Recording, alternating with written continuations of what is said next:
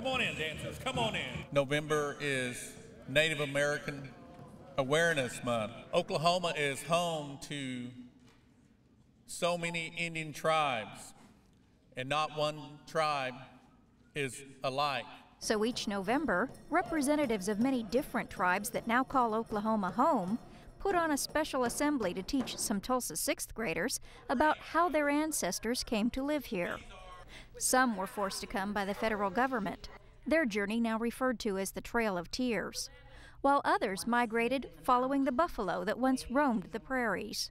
Sixth graders from all 14 middle schools in Tulsa are invited to this program each year. That's almost 900 students. They listened to storytellers explain how Native Americans were forced to adopt white culture, but still preserved their own distinct traditions and languages.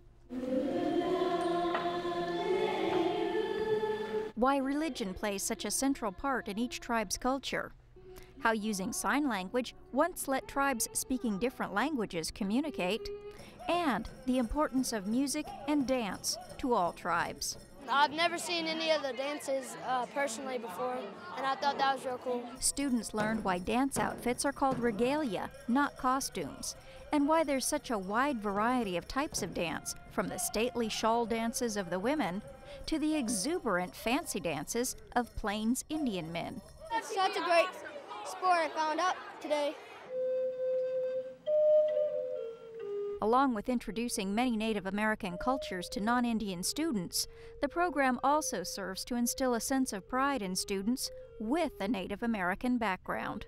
I think that it gives them a sense of, of uh, who they are inside. It gives them a sense of identity because they then don't become this generic Indian, which everyone thinks lives out here in the West they then can recognize their own tribe uh, and begin to exemplify the values and the cultures of that tribe by their looking at role models, people who belong to that tribe, and we hope that that encourages them to go on and succeed, graduate from high school, and go on into higher education.